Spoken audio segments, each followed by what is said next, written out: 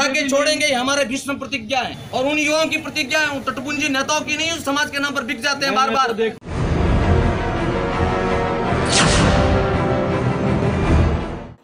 भाजपा सरकार से सभी वर्ग नाराज़ चल रहे हैं। ऐसे में भाजपा के विधायक भवानी सिंह राजावत का एक वीडियो वायरल हो रहा है, जिसमें एक युवा विधायक साहब को जमकर खरी खोटी सुना रहा है और साफ़ शब्दों में इस बार भाजपा को वोट न देने की बात कह रहा है। आप सुनिए कैसे विधायक के सामने युवा का रोष फूट पड़ा।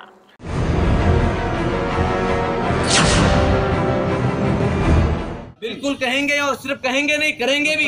यहाँ भी सिर्फ़ आए हैं डेकोरम कर लिया उसके बाद नहीं। मन में है बिल्कुल मन में है तो हम हरा के छोड़ेंगे हमारे भीष्म प्रतिज्ञा है। और उन युवाओं की प्रतिज्ञा है तटपुंजी नेताओं की नहीं समाज के नाम पर बिक जाते हैं बार बार तो चार चार पाँच पाँच साफे पहन लेते हैं और वहाँ चले जाते हैं। मैडम जी एमएलए साहब वो साहब उनके समाज उन पे चला नहीं करता है समाज इन सारे युवाओं पे चला करता है। मैंने तो मेरे मन मज़ाक समझ रखा हमारे समाज को हमारी पीड़ा को किसी को लेना देना नहीं है बात अच्छा साहब बार बार व्यथा प्रकट हो रही है शुरू में आपको कहा एस एस कानून ले लिया क्या कहना साहब? जिस भाजपा के हमने जीवन भर तक सेवा की जिस भाजपा को कांग्रेस के खिलाफ हमने खड़ा किया वही भाजपा हमने ज़मीन में गाड़ने के प्रयास कर रही है। आखिर में इतने वो वोट देंगे क्या वो लोग? परंपरागत वोट आखिर में परंपरागत वोटों को खराब कर कर ये राजस्थान सरकार या हमारे लोग क्या चाह रहे हैं साहब?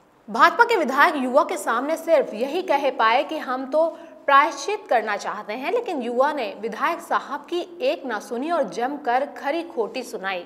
विधायक साहब की प्रायश्चित करने की बात से ये तो साफ़ हो गया कि भाजपा भी जनता का रोष भांप चुकी है और विधायक भी इस बात को मान रहे हैं कि पाँच सालों में भाजपा ने जनता का बहुत शोषण किया है।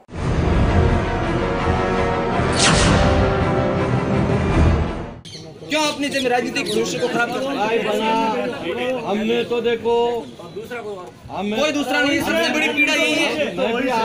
ये जब तक नहीं हटेगा उससे पहले कोई दूसरा मुद्दा ही नहीं है। मीठा आपने मीठा पानी का कहा मीठा पानी पिलाया सब कुछ किया वो किया। साहब स्वाभिमान से बड़ा मीठा पानी भी नहीं होता है।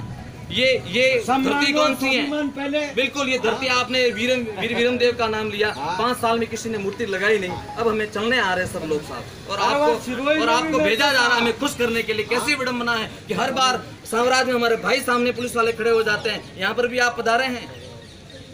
ऐसे मत कीजिए साहब इस बात को साहब। तो वास्तव में प्रायश्चित करने लायक है। प्रायचित ये पाप कैसे सर? बार बार नाक काटा जा रहा है ये प्रायचित कैसे हो सकता है साहब?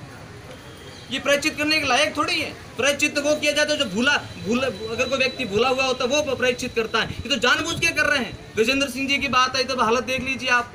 पूरा राजस्थान उनके पक्ष में था। सारे के सारे भाजपा नेता वहाँ चले गए। फिर के समाज साथ नहीं देता बेचारा समाज यार अब ये तो देखो राजनीतिक समीकरण है। समीकरण है तो समाज कहाँ गया है। भाजपा और वसुंधरा राजे का जमकर विरोध हो रहा है। सभी वर्ग राज्य सरकार के कार्यकाल से प्रताड़ित हैं। वहीं अब चुनाव आते ही सभी वर्गों ने सरकार के खिलाफ मोर्चा खोल दिया है। यही कारण है कि भाजपा के नेता हों या कार्यकर्ता आम जनता के बीच जाने से भी बच रहे हैं। तो हम हरा के छोड़ेंगे हमारे भीष्म प्रतिज्ञा है। और उन युवाओं की प्रतिज्ञा है उन टटपुंजी नेताओं की नहीं उस समाज के नाम पर बिक जाते हैं बार बार तो देखो